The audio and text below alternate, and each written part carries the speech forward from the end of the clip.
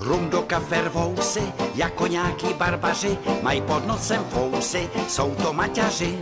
Dělají hroznej prajkl, tvrděj, že jsou šlechtici, už proti ním píšem dlouhou petici. Kecaj, že jsou modrý krve podaný, že měli prve, to by přece nejezdili trapantama, už aby byli zase v háji, snad se nám to povede a ten jejich zámek zas bude JZD. Další parchant ve škole střílel. Naštěstí jich jenom 20 postřelil. Málo. To je hrozné, že jeden zlotřilec si vezme do školy zbraň a je schopen postřílet celou třídu a ty nebohé děti se nemohou bránit. Protože nemají zbraně. Já osobně bych všechny malé děti ozbrojil. Aby k takovým případům nedocházel. Tatíčku Barone, tobě snad ruplo v bedně, ne? Jaký bedně? Nemetr. Jaký ruplo v bedně? Prostě každý parchant, než by šel do první třídy, tak by pěkně vyfasoval samopal a pár ručních granátů, aby jeho rodiče byli klidní. Něco na tom je. Aspoň by se ty ubohé děti mohly bránit. Hele, kometo, minule si něco krafala, že jsi s tím svým dětkem v jiném stavu. Chytlo se to? Ale kde pak? Asi jsem to někde ztratila. Konteso. Říká se potratila a ne ztratila. Ztrácejí se klíče, peněženka, drobné mince, ale ne lidský zárodek. Prosím tě, to je jako kdyby si říkala, že ti to někdo šlohnul v tramvaji, člověče. Ať to potratila, ztratila, či to někdo šlohnul, zaplať pámbu za to. Ty by ses o to komteso nedokázala ani postarat. Dovedeš si představit, co je takové dítě za pracovní úvazek? Jaký úvazek? Prdla bych to do jeslí. Jesle jsou sice kousek od našeho domu, ale stejně to znamená každý den ráno časně vstát, obléknout se, dítě přebalit, nakrmit a odnést do jeslí. Víc jsou jesle hned za rohem. Doplazilo by si to tam každý ráno samo. Já tohle nemůžu poslouchat, prosím tě. Vidíš mateřství jako hurvínek válku. To pravdož. A Hurvínek taky neuměla kojit. Izbistaš mi nakupa. A to je také správná připomínka. Neuměla bys ani kojit. Na tom nic není. Zkoušela jsem kojit trostu, když si vyndal zuby. A docela mi to šlo. Kecej, že má ještě ve 72 sací reflex. To bys čuměla. Prostě mít sací bagr. Kulka mi byla eura samo. A náš bachař, hositel řádu práce. Tak to, maminko, kolik vám jich dneska uteklo? Buďte rádi, že tu máme teď vězení. Já si myslím, že se baronka matka jako bachař konečně našla. Jak ona mohla sama sebe najít, ještě ne? Hledat houby, igen, jova. Hledat klíče, igen. Jedna ponožka hledat, izbistoš, prováďok. Ale sám sebe hledat. To hovadinoš, blboš, pakoš. Co má Váďo na dočat? To jsem zvědavý, jestli stát někdy pronajme polovinu našeho zámku instituci, do které se baronka matka nevnutí. Prosím tě, má aspoň snahu na rozdíl od nás vydělat nějaký peníze. Já to ale nechápu, že jí všude vezmou. Nechápeš? Vždycky, když se jdete ucházet o místo, tak tam vyrazí v minisukních.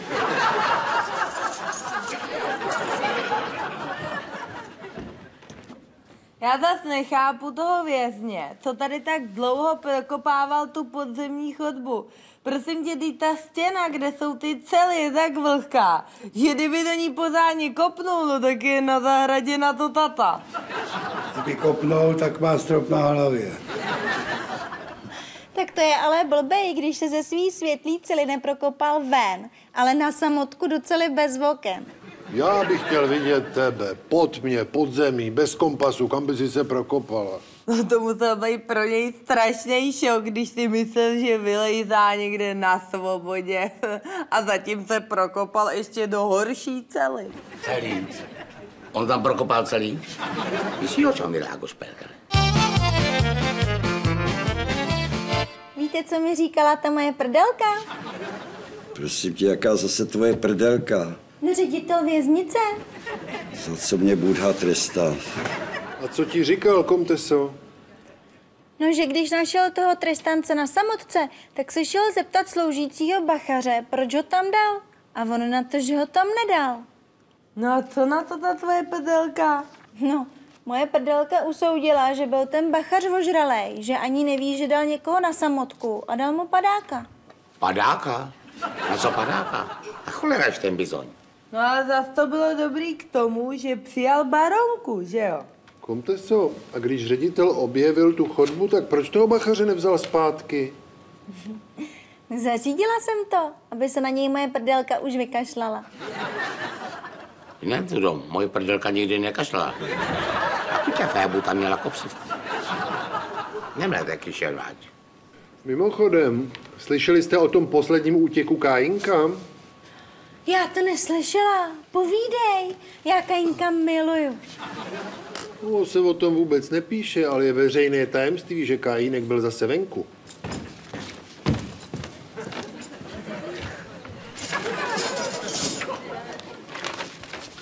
Kajínek, že utek, jo? Prosím, děť byl přece na bolech, to je přece úplně neprodyšný vězení. Víte, jak to prasklo? V celé Plzni vypadla elektřina. A tak šli opraváři s těmi detektory po kabelech a zjistili, že na jednom místě je to hlavní vedení elektřiny úplně přerušené. Tak tam začali bagrovat a hádejte, co pod zemí našli. Kajinka? Čechovický poklad. Ano, našli tam Kájínka.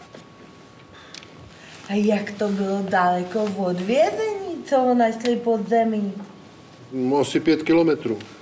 A jak dlouho se tam prokopával? To si nikdo nevšimnul, že léta chybí zcela? Chyběl v celé asi jenom dva dny.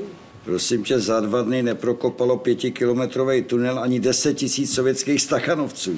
Ani náš úderník Miska. Ale Kájínek to dokázal. Byla v tom asi korupce nebo trestuhodná nedbalost dozorců. Už se to vyšetřuje. Představte si, že někdo propašoval Kájinkovi do cely důlní razící štít. A tím štítem musel přetrhnout kabel, který měl nejméně 10 tisíc voltů. Nedostal chudinka ránu. Hned bych mu ji šla pofoukat. Já jsem nedávno četl o jednom riskantním, ale nakonec dařilým útěku v Německu.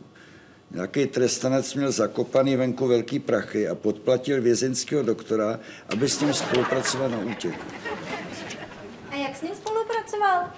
No byl to chirurg, který pracoval ve vězení jenom proto, že ho vyhodili z nemocnice. Jo? A proč ho vyhodili? No protože pro svoji soukromou kliniku ukradl nějaký orgán určený pro transplantaci. A jak mu ten doktor pomohl teda k útěku z vězení?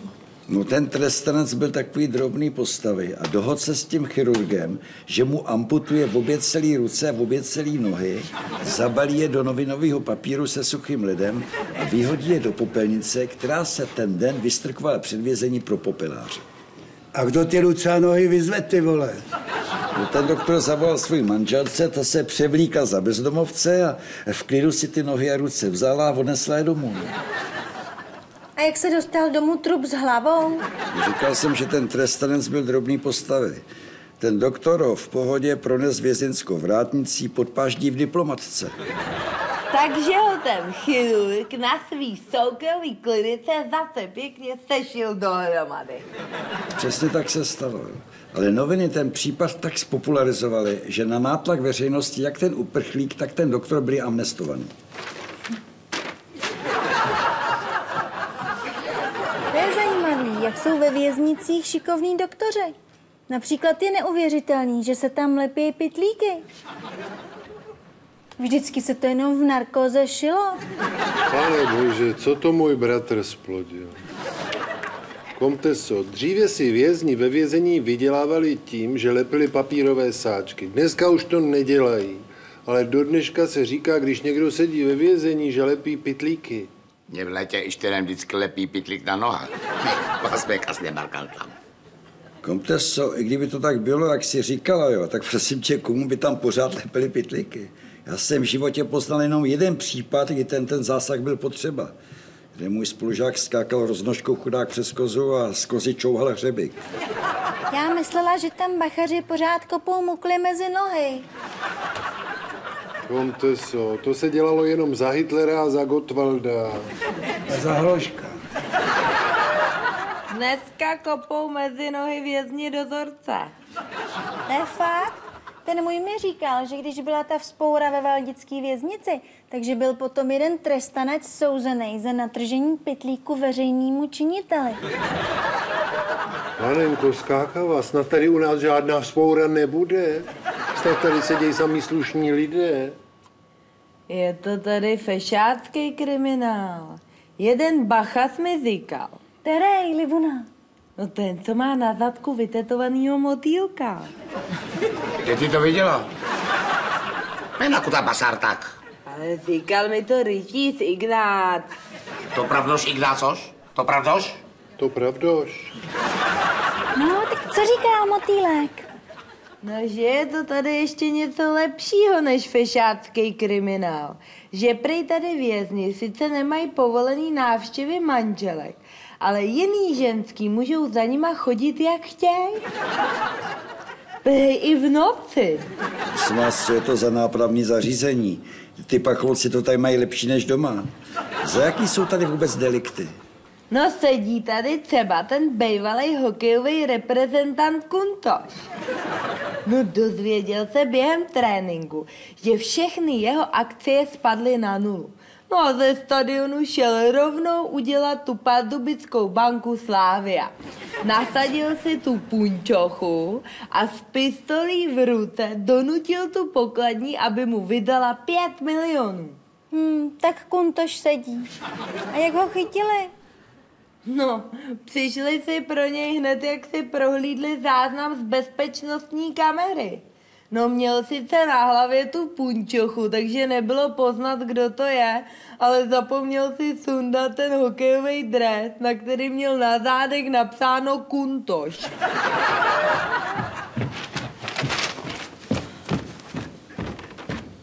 Má dneska fofra. Má u závěrku, musela už dneska třikrát odevřít dveře. Moje prdelka ředitel věznice mi říkal, že v Praze sedí jeden kasař, který mistrovsky vniknul střechou do té cestovní kanceláře Škromachtur. Tím to přeju. Byl jsem s nima u moře a celou dobu chcel. Jaroměři, zase začínáš. Dej si na mě pozor. Představte si, že mistrovsky otevřel trezor, mistrovsky oklamal všechny poplaštní zařízení, mistrovsky zmizel i s deseti milionama korun, ale zapomněl si u toho trezoru na židli sako se všema dokladama. No jo, to je hrozný, ale i mistr Tesar se někdy utne, no ne. Jak je zase tesář? A kuťa fajebuta, ničemu nerozumět.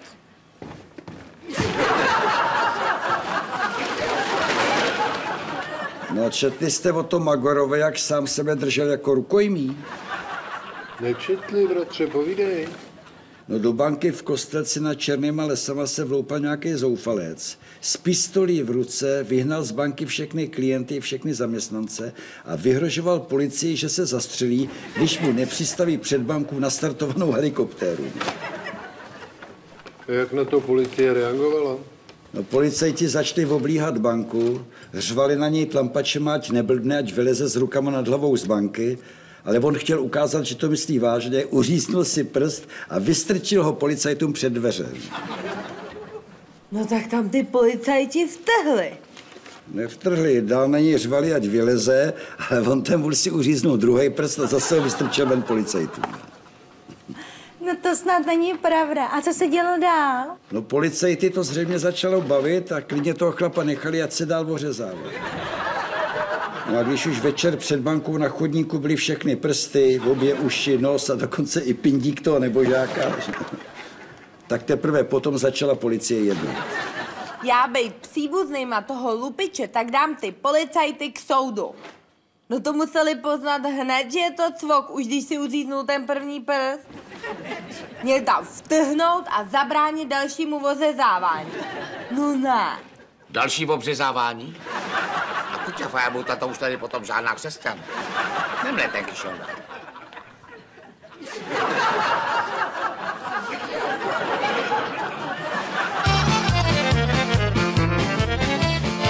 Bratře Ignáci, já čet si tenkrát o tom případu Pepa Skodaně. Samozřejmě. Vždyť toho začátkem 90. let byly plné noviny. A kdo to byl Pepa Skodaně? To byla česká písnička, která byla nějak Já jsem Pepa z Kadaně, vykašlu se na daně. A jeden redaktor ji použil v článku o nějakém Dánovi, který se jmenoval Josef. Akorát místo z Kadaně napsal z Kodaně. No a co prve ten Pepa z Kodaně, teda Ježíš nenapínej nás. Ten dánský Pepa byl podnikatel, deset let neplatil daně a okradl stát asi o půl miliardy. A v jeho věku mu hrozilo, že bude až do smrti v kriminále.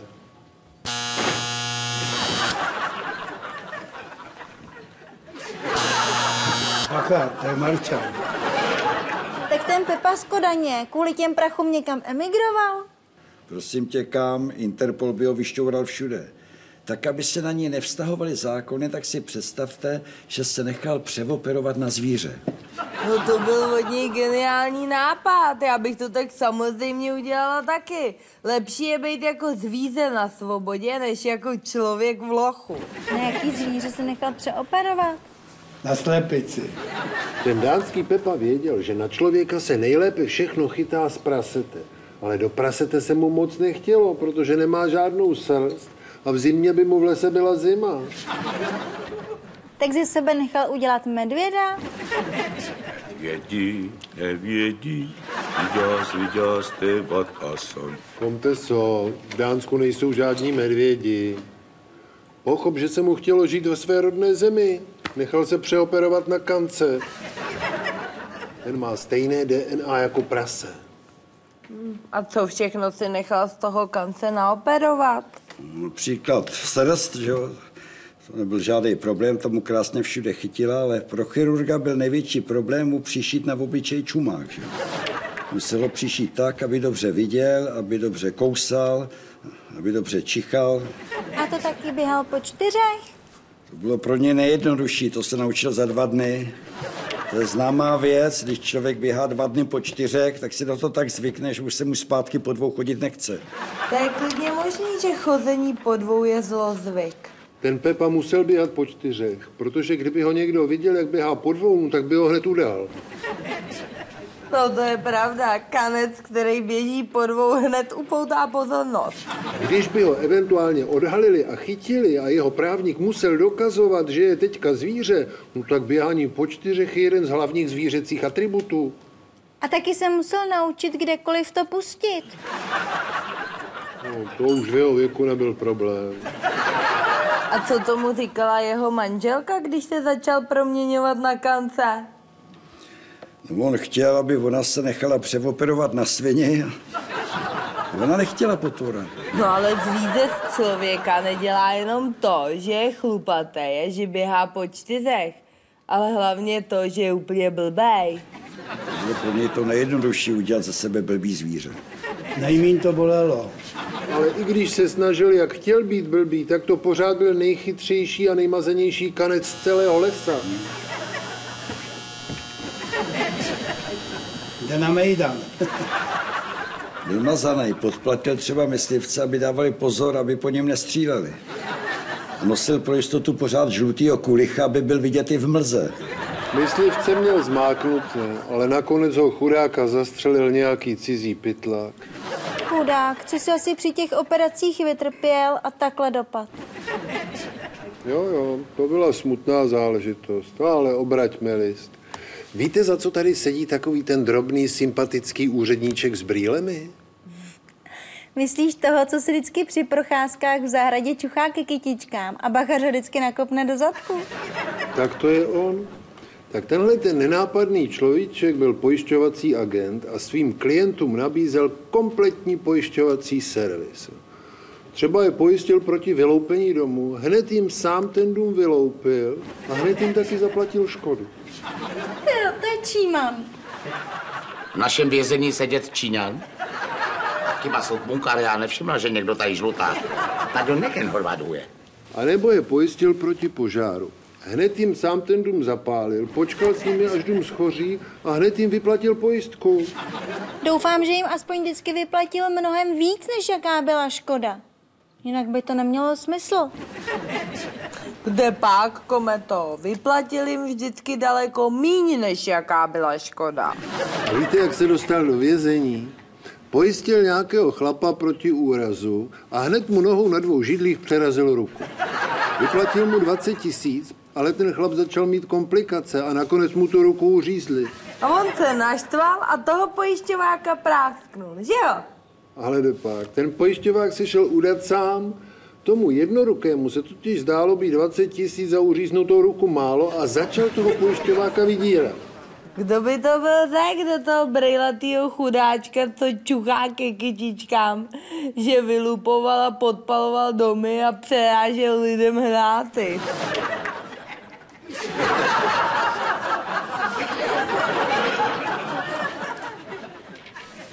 A víte, co mi říkal Norbert? Pro boha, jaký zase Norbert? No tak se přece jmenuje ředitel téhle věznice. Co si se mnou může dělat, co chce? Moje krev to to, ach jo. Ještě, že mám jenom psa. Norbert mi jednou říkal potom, že tady sedí tak nějaký pornofilmař, který prej točil filmy s nezletilejma slečnama. Nekece, jak tedy to já. A už ten bizon, co tobě do toho, Karkele? No ten pornofilmař natočil asi 50 pornofilmů. Byl hrozně opatrný, aby to na něj neprasklo, tak ty filmy dodával do obchodu anonymně a peníze za ně si vyzvedával v mrtvý schránce. Ale nakonec stejně udělal chybu. A víte, proč to na něj ruplo? Ne. Protože ve všech těch filmech hrál hlavní roli. Já si myslím, že za většinu trestných činů můžou špatný zákony. Kdyby stát zdanil bohatý tak, že by byli taky chudí, tak by zloději neměli co krást. Nebo kdyby ženský museli vyhovět každému chlapovi, který by o ně projevil zájem, tak by nebylo co znásilňovat. Nebo kdyby mužský po svatbě mohli svoje manželky doma zavírat na zámek, tak by nebylo co mlátit ze žádlivosti. Nechceš taky náhodou uzákonit to, co udělal ten zamilovaný Magor z Neapole? Magor z Neapole. To je Verdi. Co udělal ten Magor, Libuno? No ten Ital, aby měl opravdu jistotu, tak hned po svatbě si k sobě nechal tu svoji novomanželku přišít jako siamský dvojče. No jo, ale to potom ani on s ní nemohl nic mít. Ale jo, prosím tě, ten chirurg je k sobě přišel břichama. To bych měl ke stali dva metry. Já si myslím, že ani to přišití k sobě by nevěru nevylučovalo. Mně osobně by vůbec nevadilo, kdyby k Žužovi byl někdo přišitý. Naopak. Víte, ještě mě napadla jedna prevence proti trestní činnosti. Kdyby se uzákonilo, že korupce je povinná, tak by přestala být trestným činem. Vypracovaly by se přesní tabulky, ve kterých by byly tři kolonky. První kolonka by byla komu, druhá kolonka za co a třetí kolonka kolik. Začínalo by to třeba prezident, udělení milosti 10 milionů. A končilo by to třeba metař, dvě hovna 50 korun. No, no, no. Něco na tom je. No jinak se korupce v Česku nezbavíme. Úplatky podle mě nebere jenom Schwarzenberg, který peníze nepotřebuje, a lidovci, kteří se bojí, že si je odnese čert. Když stát stanoví přesné ceny, tak lidé už nebudou dávat úředníkům zbytečně vysoké úplatky. A na druhou stranu nízkými úplatky už nebudou urážet kolikrát vážené politiky. Bude v tom konečně jasno. No, aspoň už by se nestalo to, jak se ta babička dostala k panu prezidentovi a nabízela mu 50 korunů za to, když dá milost jejímu synovi, který zabil a rozčtvrtil svoji manželku. Sedí tady tak jeden podnikatel, který dostal pět let jenom za to, že se bránil vyloupení svojí vily. Se musel bránit dost drsně, když dostal pětiletku. Je to nějaký geniální inženýr chemik, který má vilu na samotě v lese na Brdech. A vždycky, když odjel, tak ho totálně vykradli. Nedělal nic jiného, než pořád znovu nakupoval koberce, nábytek, hrnce, televizi. Prostě několikrát měsíčně se musel pořád znovu kompletně zařizovat. A neskoušel hlídací psy nebo poplašné zařízení? Zkoušel úplně všechno a stejně ho vždycky znovu vykradli. Až nakonec vymyslel nějaký geniální lepidlo, který přilepilo k nevodlepení úplně všechno, kromě jednoho jediného materiálu, kterým natřel podrážky sobě a svý rodině. Je mi to jasný, takže on tím natřel všechny podlahy, terasy a dvůr, aby se ty lupiči určitě někde přilepily. Tak povídej, komteso, že on odjel s rodinou na delší dobu pryč a když se vrátili, tak tam byli přilepení zloději, že jo? No, jo, říkala si, že dostal pět let. Takže než se ta rodina vrátila, tak ti zloději na té samotě umřeli žízní a hladem, že jo, že mám pravdu. Máš zhruba pravdu. Na dvoře se mu opravdu přilepili dva lidi a umřeli žízní a hladem. Ale nebyli to zloději, ale pošťák a vodečítač vodoměr. No tak mě napadá, když se přilepili, no tak proč se nezuli? No to taky udělali, ale dopadli oba ještě hůř. Pošťák byl přilepený za holý chodidla a vodečítač vodoměru za holý břicho. Ja, hej, ja, pistácio, radobro s čokoládou. Já si jdu taky koupit mrzku. No tak jednu roky pak peníze. To známe, jdi si koupit sama. Komteso, kup mi jedlo, jo, dám ti to, jo. Už ti nevěřím, minule jsi mi taky nedal ani korunu. Koupíš mi, dneska mě bere koleno. Měl si nosit zimě bombardáky.